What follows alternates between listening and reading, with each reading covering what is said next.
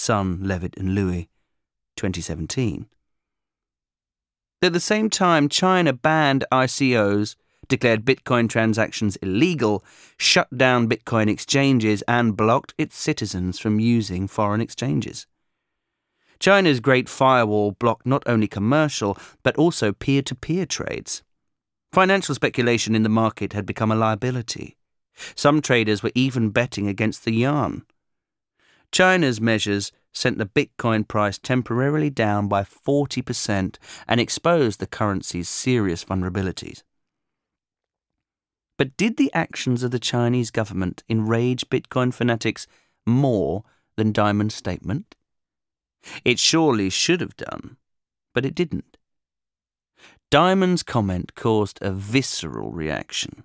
Disgust rose to the surface, particularly in the realm of unfiltered social media.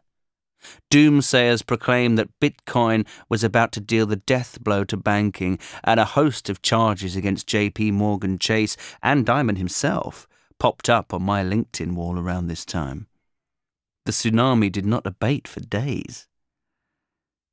This outburst is symptomatic of a deep ideological rift at the centre of the blockchain controversy.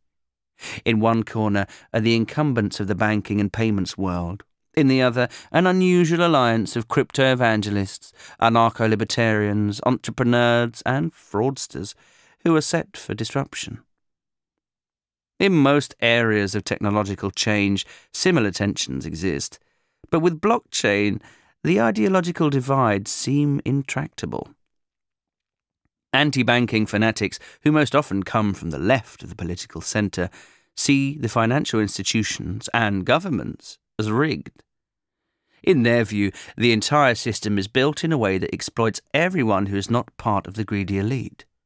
This rhetoric, however, is somewhat trite, so the fanatics have turned their objection from an ideological to a technical one open up transaction verification or shut them under someone's control. Dimon was not demonizing the blockchain. He did not speak about JP Morgan Chase abandoning its blockchain initiatives.